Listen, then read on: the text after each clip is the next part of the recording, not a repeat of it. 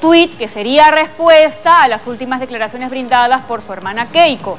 Recuerda, me puso entre comillas, es el título de una canción de la película Coco, cuando éramos niños, dice, no dejaré de quererte, escribió, y acompañó con un enlace a el video de una canción que no era Recuérdame, sino que era la canción La Llorona, que también aparece en esta película animada que por cierto ha ganado un Oscar en la última entrega de premios en los Estados Unidos. Llorona de azul celeste.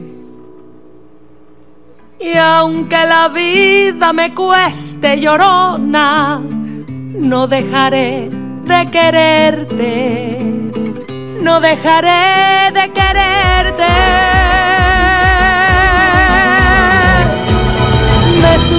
Pino más alto, llorona, a ver si te divisaba.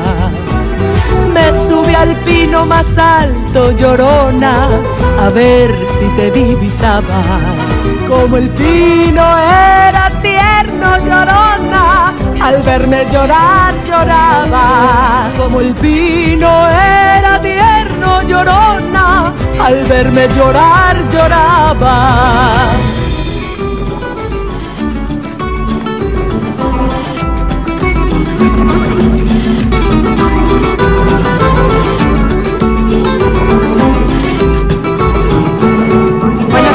Al parecer la respuesta que le dio Kenji Fujimori a su hermana.